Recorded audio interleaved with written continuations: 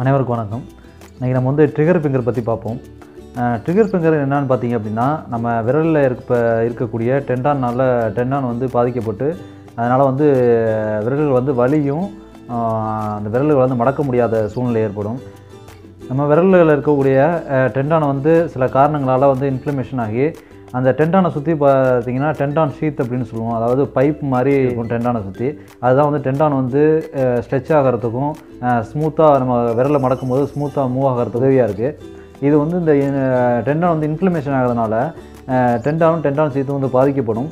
அதனால் பார்த்திங்கன்னா நம்ம விரலில் வலியும் அதே மாதிரி விரல்களை வந்து மடக்கி நீட்ட முடியாத சூழ்நிலை ஏற்படும். என்ன காரணங்களால் இது வரும் அப்படின்னு பார்த்தீங்கன்னா ஆஸ்டியோ ஆர்த்தைட்டிஸ் ரொமட்டாய்டிஸ் அதுக்கப்புறம் வந்து பார்த்திங்கன்னா அந்த டைப்ரைட்டிங் ஒர்க்கு பார்க்குறவங்க அதுக்கப்புறம் இந்த விரல்களை வந்து அதிகமாக ஸ்ட்ரெயின் பண்ணி வேலை பார்க்குறவங்களுக்குலாம் வந்து இந்த பிரச்சனைகள் வரும். அது வந்து ஆண்களை விட பெண்களுக்கு தான் அதிகம் வரதுக்கான வாய்ப்புகள் இருக்குது பிரச்சனை வந்தால் என்ன சிகிச்சை அப்படின்னு பார்த்தீங்கன்னா நீங்கள் வந்து விரலில் வலி இருக்குது விரலை மடக்க முடியல அப்படின்னு தெரிஞ்சாலே நீங்கள் வந்து ஆரம்பத்திலேயே போய் ஒரு ஃபிசியோதெரப்பி கிளினிக்கில் போய் அதற்கான சிகிச்சை எடுத்துங்க. இது வலியும் குறைஞ்சிரும். அதே மாதிரி உங்கள் விரல்கள் வந்து நீட்டி மடக்கிறதுல எந்த சிரமமும் இருக்காது. கிளினிக்கு போக முடியாதவங்க வீட்டிலேயே என்ன பண்ணலாம் அப்படின்னு பார்த்தீங்கன்னா ஐஸ் ஒத்தரம் கொடுக்கலாம். ஒரு பத்துலேருந்து பத்துலேருந்து பதினஞ்சு நிமிடம் வந்து ஐஸ் ஒத்தரம் கொடுங்க.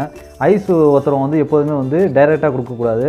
ஒரு துணியில் சுற்றியோ ஐஸை அப்படி இல்லைன்னா வந்து ஒரு பாலித்தீன் கவரில் போட்டு அதுக்கப்புறம் வந்து உங்கள் வலி இருக்கிற இடத்துல வந்து கொடுங்க.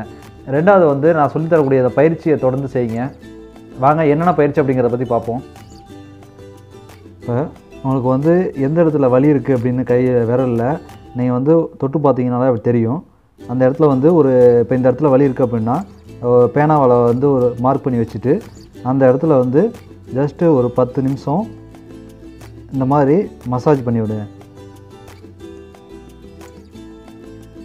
அடுத்து ரெண்டாவது பார்த்திங்க அப்படின்னா அதே இடத்துல லைட்டாக அழுத்தம் கொடுத்து வச்சுட்டு இந்த பயிற்சி செய்யுங்க.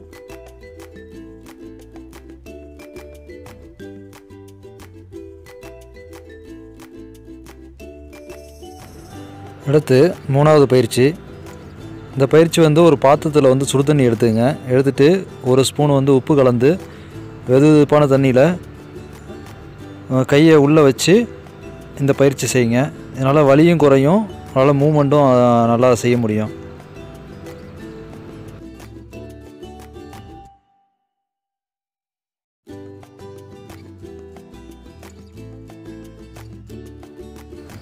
அடுத்து நாலாவது பயிற்சி. இந்த பால் வந்து எல்லா ஃபேன்சி ஸ்டோர்லேயுமே கிடைக்கும். ஸ்பாஞ்சு மாதிரி இருக்கும். இந்த பால் வாங்கி வாங்கி இந்த மாதிரி பயிற்சி செய்யுங்க.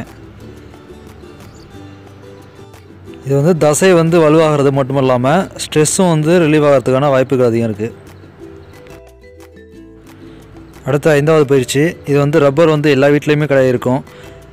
ரப்பரை எடுத்துக்கிட்டு நான் இப்போ வீடியோ காட்டியிருக்க மாதிரியான பயிற்சியை தொடர்ந்து செய்யுங்க. இந்த சொல்லியிருக்கக்கூடிய பயிற்சியெல்லாம் கர தொடர்ந்து செஞ்சிங்கனாலே வலியும் குறைஞ்சிரும். அதே மாதிரி உங்களுக்கு விரலில் வந்து பழைய மாதிரி மூமெண்ட்டும் செய்ய முடியும் உங்களால்.